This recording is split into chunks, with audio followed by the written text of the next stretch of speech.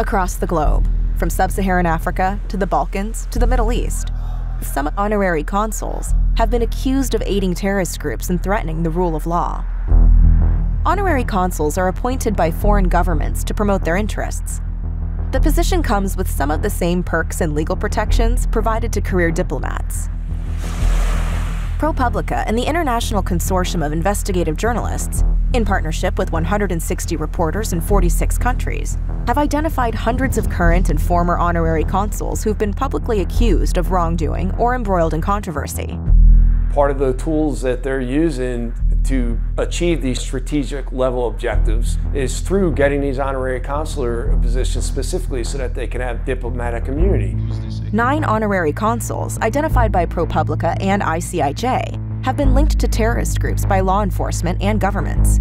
Most were tied to Hezbollah, a Lebanese political party and militant group. Hezbollah financiers and facilitators use honorary consul positions to enhance their prestige and their freedom of movement. Hezbollah's attacks in Iraq and elsewhere have wounded or killed hundreds of U.S. service members.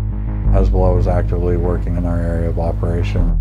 The bomb, when it came through, it came through right through next to my head, through my door, and it basically cut me in half from the left corner of my temple down through my jaw.